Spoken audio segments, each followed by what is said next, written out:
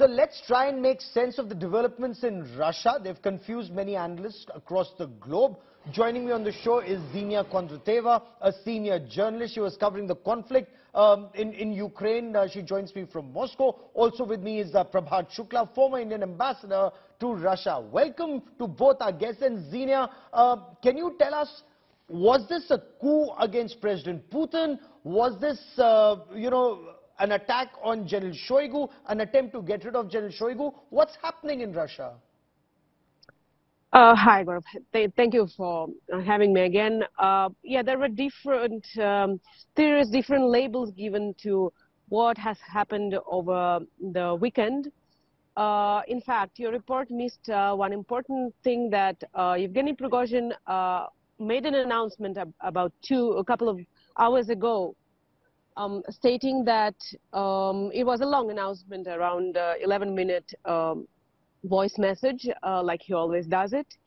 Uh, so he stated uh, the reason why his fighters uh, went on the so-called rebellion is that from July 1, he, the uh, Wagner uh, company, the fighters, would need to sign the contract with the um, um, defense ministry and would need to be subjected basically to the defense ministry. Yes. So the PMC, the private military company as we know it, would uh, cease to exist.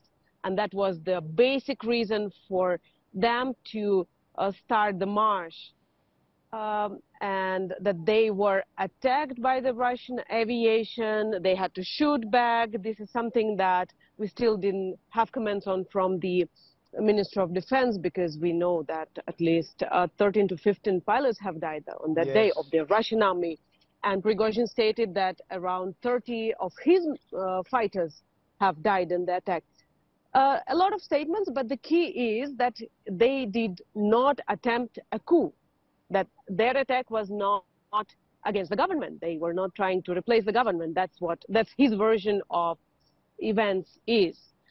Um, so okay. it's really debatable what's really happening. Um, yeah. But he had raised this, and stay with me, stay with me, Ksenia. Uh, Ambassador Shukla, does this then not reflect uh, that the leadership of President Putin failed to amicably resolve this issue because Prigozhin had been raising this issue for quite some time, including with President Putin, that General Shoigu, the defense minister, insisted that the PMC should report to the defense ministry.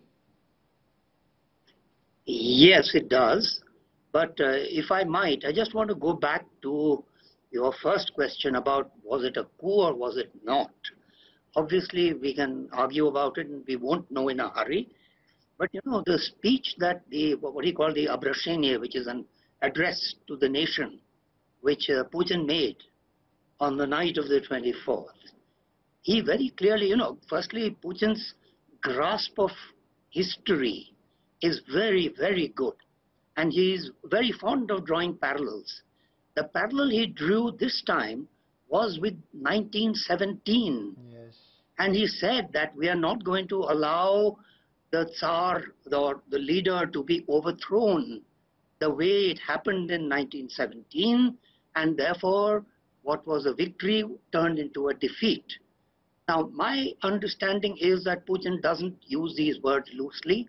He certainly feared that there was something more serious that was brewing. And I think you can, if you want to understand why, you look at the way the people and the army in Rostov yes. greeted Prigozhin and his guerrillas. They were hugely popular and they actually waltzed into the army headquarters. Oh, there was no resistance at all.